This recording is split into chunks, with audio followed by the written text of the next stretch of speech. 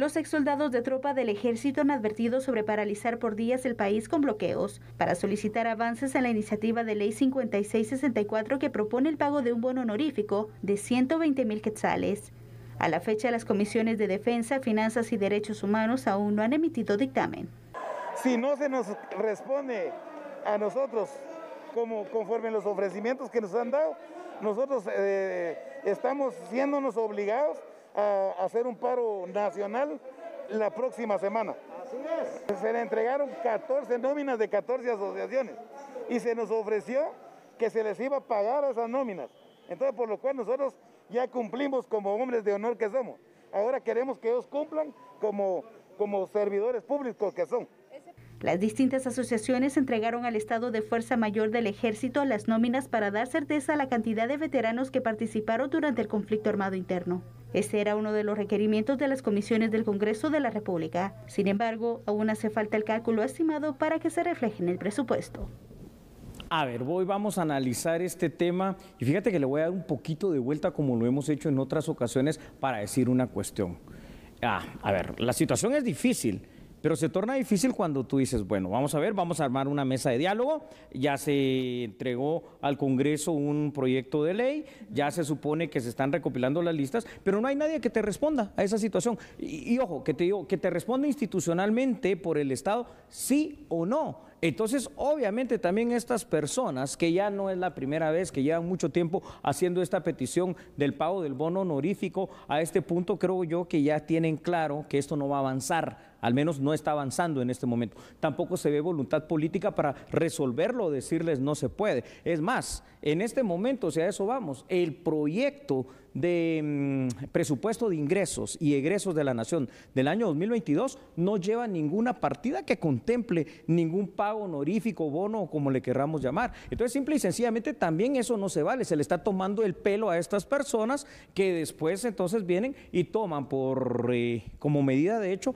el, el bloquear calles y carreteras para ser escuchados nuevamente, pero es que a este punto uno ya puede empezar, bueno, quizá tienen razón en función de que no les dicen sí o no, por lo menos. Exactamente, sí, es un tema que se le ha dado muchas largas sí, y, que, y que al final entonces también al dar este, al tener este punto en el cual no se logra resolver, genera una molestia, ¿no? Por supuesto. Por la forma en la que a lo mejor se ha tratado, que creo que no ha sido la, la más eh, pertinente para como una burla al final de cuentas. Sí, entonces el punto aquí es, bueno, ¿qué se va a hacer para escucharlos y para poder evitar también eh, algún tipo de medidas que ellos ya incluso han han indicado que van a realizar y que lo han hecho en otras ocasiones. Es correcto. Y fíjate que investigando bastante sobre este tema, uno puede ver que son varias las asociaciones, pero que se o se fragmentan, digamos, en dos grandes. Una donde están los eh, oficiales, digamos, eh, que pasaron por la escuela politécnica, eran oficiales superiores del ejército, quienes sí están recibiendo eh, ciertos apoyos y beneficios de parte del Estado de Guatemala, no de ahorita, sino que de hace unos años. Pero estas personas que estamos viendo aquí, que fueron los combatientes de tropa, no fueron incluidos en, esta situación, al menos no por la superioridad del ejército de, Guatemala en aquel momento, pero entonces están recabando los listados que ya se presentaron y que deberían, por lo menos, fíjate Sandy, entonces si de verdad hay algún tipo de voluntad de pago, decir, bueno, no podemos pagar todo de, por completo porque es demasiado. Entonces vamos a tomar este pequeño grupo como el primer grupo que se le va a pagar tal cantidad para tal fecha y que va a ser programado de esta manera y así subsiguientemente. Pero es que ni siquiera eso. ¿Y sabes qué es lo peor? Que nadie da la cara. Es decir, aquí ni las comisiones correspondientes en el Congreso de la República, ni los ministerios que están aquí involucrados con el Ministerio de la Defensa o alguna otra institución, pues pone la cara por nadie. Y lo que va a pasar es que van a cumplir con su promesa y van a bloquear las calles, entonces ahí sí se les va a escuchar, ¿no? Pero se paraliza la economía, se paraliza toda la situación y entonces como que eso es lo que estamos fomentando,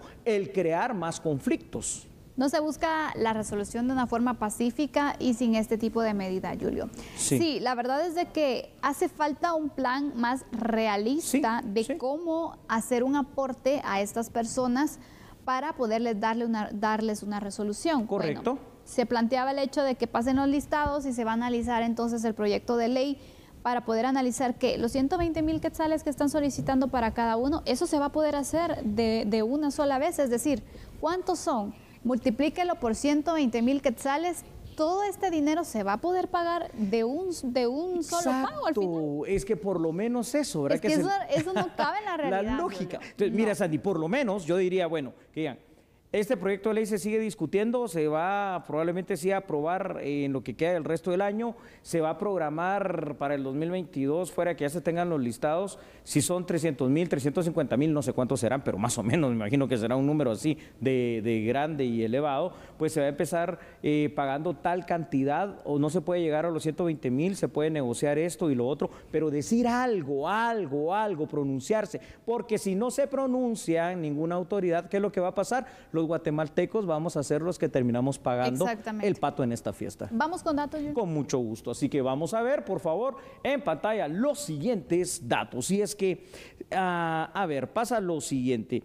Es necesario recordar que los soldados de tropa veteranos están exigiendo desde hace meses ya un bono honorífico Sandy que es equivalente a 120 mil quetzales para cada uno de ellos, ¿no? Para el efecto se instalaron mesas técnicas, mesas de diálogo coordinación, pero parece ser que el trabajo de las mismas no está teniendo ningún tipo de impacto, al menos impacto positivo en este conflicto, al contrario. Teóricamente, eh, los veteranos militares tenían que entregar al Ministerio de la Defensa los listados completos de nombres, ellos dicen que ya los entregaron, e identificación de los exsoldados que podrían ser los beneficiarios. Sin embargo, esto todavía no se ha, trasladado al Congreso ni se ha hecho, por lo que el pago real de este bono, al menos para un primer grupo de excombatientes, hoy por hoy, hablando lo que es con palabras claras, llanas y sencillas, se vuelve también algo imaginario, algo utópico, algo irreal.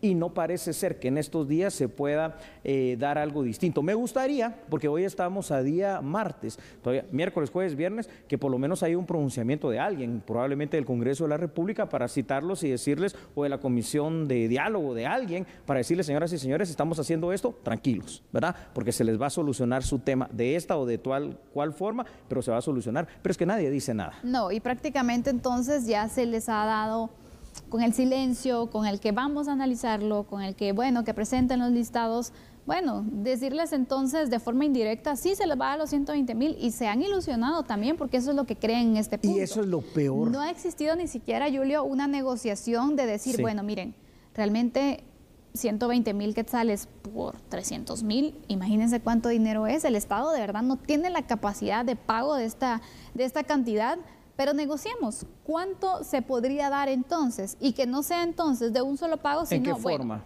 pueden ser, no sé, 60 mil, la mitad, dejémoslo en la mitad, pues, y no va a ser en un solo pago, sino que lo podemos hacer en un lapso de tres años, por ejemplo, donde un año se dé una cantidad, el otro año se dé otra cantidad, y establecer entonces de una forma realista y conforme también a nuestras finanzas. Es correcto. Si se puede hacer o no, porque de ahí es que se crean leyes que van a estar desfinanciadas. Así es, pero aquí el conflicto, y con esto vamos con datos, se aviva porque simple y sencillamente se dan falsas esperanzas, que eso es lo que es, y después eso se transforma en un conflicto todavía más grave, más fuerte, porque se traduce como una burla, ¿no? Como una falta, inclusive hasta de respeto a la dignidad de estas personas. Vamos entonces con los otros datos, por favor, gracias producción. En contraposición, ¿qué dicen los ex soldados de tropa? Han anunciado ya que van a tomar medidas de hecho que para ellos han resultado efectivas, dicen. Es decir, van a hacer uso de la paralización de calles, de carreteras del país a través de los denominados bloqueos. ¿Para qué? Para volver a hacerse sentir.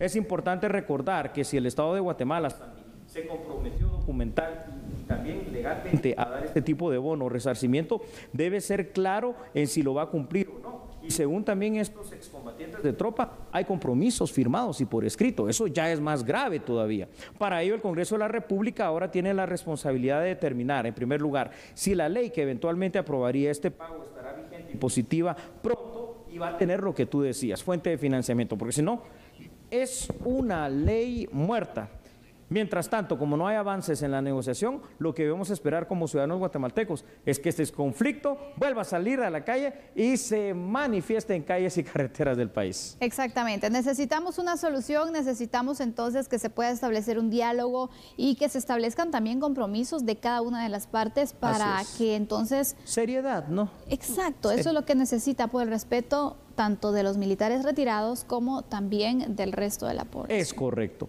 Bueno, ¿Les parece si vamos a la pausa y regresamos con las noticias nacionales? Recuerde que somos a la medida.